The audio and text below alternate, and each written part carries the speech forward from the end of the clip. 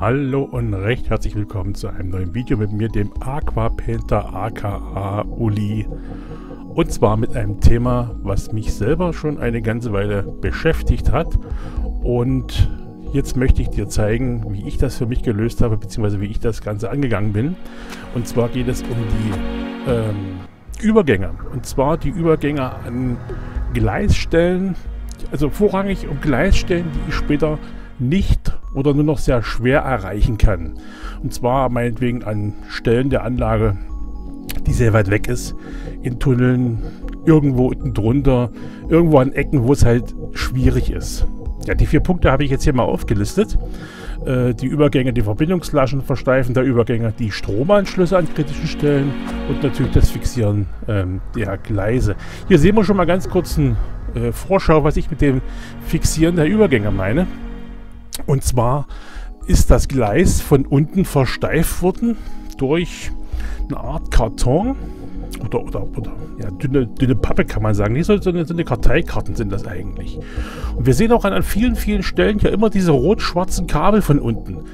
Das ist nicht, weil ich Langeweile habe, das habe ich glaube ich schon mal in, in, in dem Thema angeschnitten, sondern dass ich damit sicherstellen möchte, dass immer und überall Strom anliegen kann an der Anlage. Weil das ist der Knackpunkt, finde ich, überhaupt, dass die Verbindungslaschen, also die Stellen, wo die äh, Gleise miteinander verbunden wären, übrigens da hinten, was ich eingekreist habe, das ist die Stelle, um die es gerade gehen soll, beziehungsweise die wir gerade geklebt hatten. Hier sehen wir mal die Verbindungslasche, die ähm, ist verbogen. Das sieht man teilweise schlecht. Man fährt später mit dem Finger über die äh, Gleise drüber und stellt dann fest, dass da ein ganz kleiner, äh, äh, ja, so ein Hubbel ist, wo die, wo die Waggons ständig entgleisen können. Das liegt daran, oft, das heißt oftmals in den Fällen, wie ich es hier habe, dass bei den Verbindungslaschen unten diese kleine Nase, die da dran ist, nur ein bisschen verbogen ist und das Gleis hinten hochhebt. Äh, dann öffnen sich die Laschen natürlich, wenn man die Gleise zusammenschiebt, das haben wir eben gesehen. Und dann biege ich die mit der Zange wieder ein bisschen zurecht. Das ist ja auch gerade eine Weiche, die ich hier gerade in der Hand hielt. Und das ist natürlich da ein bisschen ein, ein, ein Problemkind irgendwo. Ja, unzugängliche Stelle ist das hier natürlich, weil ich habe es ja schon mal in anderen Videos gebracht. Das ist ja meine, äh, meine Brücken hier hinten, die auf den oberen ähm, Bahnhof führen sollen.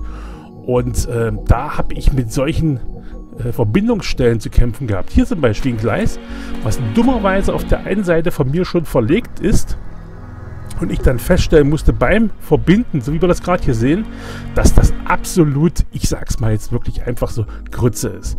Äh, geht nicht, kannst du nicht machen. Also raus mit den Verbindungslaschen und das ist bei verlegten Gleisen natürlich ein bisschen fummelig. Wenn das Video hier übrigens ein bisschen verzappelt aussieht oder, oder wie auch immer zu hektisch, das liegt daran, oben rechts sehen wir es im Video, das ist jetzt ein Zweifach-Speed, also mit zweifacher Geschwindigkeit jetzt hier abgespielt, um das, wie ich immer so schön sage, auch nicht zu langweilig zu machen, weil 1 zu 1, da kannst du dann doch schon ein bisschen, äh, ja, muss nicht sein. Deswegen zweifach. Ja, hier habe ich jetzt die Verbindungslasche gelöst.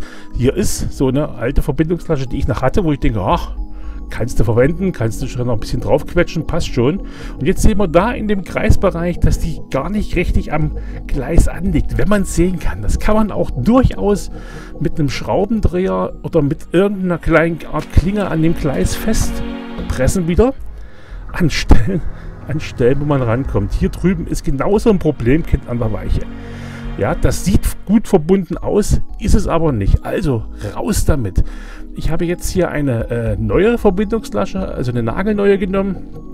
Hier sieht man es ein bisschen, wie gesagt, ein bisschen hektisch wirkt das durch diesen äh, etwas Speed hier drin. Und jetzt kann man die wunderbar da drauf schieben. Das werden die meisten sowieso kennen. Aber ich höre immer wieder von manchen, dass die sagen, ach, das biege ich mir zurecht, das mache ich da ran, das passt schon. Und ähm, bei der Weiche, das haben wir ja vorhin mal gesehen, da ging es ganz gut, das konnte ich retten. Aber auf dem anderen Gleisstückchen, hier sitzt es links auch nicht richtig, wenn wir gucken. Aber da auch ganz oben, also im hinteren Gleis von hier aus gesehen, sehen wir das, dass das nicht so richtig 100% äh, zusammenpasst. Also da muss man wirklich, wirklich aufpassen. Ich nehme damit unter auch von einem, so, einem, Cutter, die, die, die stumpfe Rückseite, um dann die Verbindungslaschen in das Gleis nochmal richtig einzupressen irgendwo. Dann ist ganz wichtig, was mir auch aufgefallen ist, dass man immer wieder mit den Waggons ausprobieren muss. Hier habe ich jetzt alles gerichtet, habe das ordentlich eingepresst und ähm, jetzt fahre ich mit den Waggons da meistens nochmal drüber, um zu schauen, ob das wirklich passt.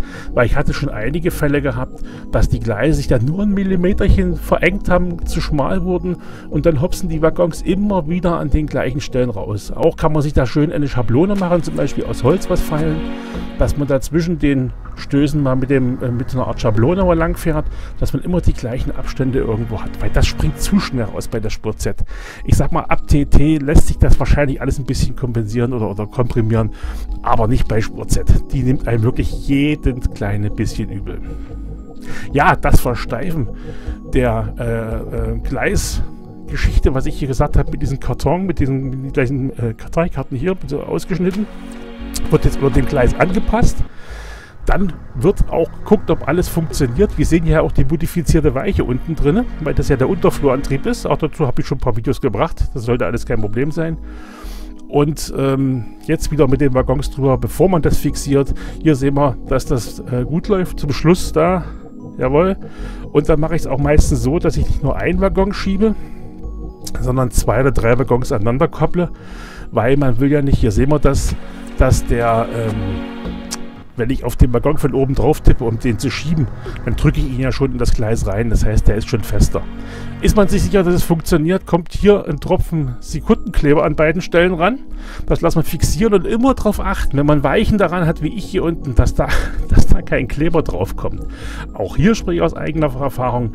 Ich habe auch mir schon äh, Weichen verklebt, die nachher gar nicht mehr gingen. Also da immer schön aufpassen, dass es passt. Dann vorsichtig wird das losgehoben. Wir sehen, das passt. Ich habe also nicht zu viel Kleber drauf gemacht. Ansonsten wäre das Ganze jetzt schon an der Korkunterlage da festgeklebt. Also das passt. Jetzt drehe ich das Ganze um. Hier sehen wir auch schön die modifizierte Weiche links für den Unterflurantrieb. Und jetzt noch ein bisschen, äh, alles hier ein bisschen so einkleben äh, äh, hier unten drunter, dass dann eben auch diese Pappe äh, relativ steif wird. Darum geht es ja im Grunde genommen, ne? dass das irgendwie ein fester, eine feste Verbindung wird mit der ganzen Geschichte. Ja, und dann ist, da sehen wir die andere Seite, da habe ich es ja auch schon gemacht. Und ähm, dann ist eben halt wichtig, Stromanschlüsse, Stromanschlüsse, Stromanschlüsse. Ich kann es nur wie so ein Prediger, wie so ein Priester hier wiederholen. Ähm, macht man zu wenig ran. Echt bei Stellen, wo du nicht rankommst, dann bleibt die Lok dann irgendwo, der Zug irgendwo stehen und das bringt alles nichts. Ja, hier sieht man jetzt, wie ich die beiden Brücken schon fertig gemacht habe, wie ähm, das Ganze fertig aussieht und dann funktioniert es auch. Und da sehen wir auch da hinten die Strecke, die verschwindet, alles passt, alles ist fest und alles funktioniert. Und Stromanschlüsse, alles klar, meine Freunde. Ich denke mal, so ein Riesenthema war das jetzt hier nicht, aber vielleicht war es für den einen oder anderen mal interessant. Und ähm, wer eine Meinung dazu hat, rein in die Kommentare. Abonniert mich, wer es noch nicht gemacht hat. Ich freue mich auf jeden Fall drüber, da macht das auch ganz viel Spaß. Und dann sage ich, macht schön gut, euer Uli aka Aquapainter. Ciao!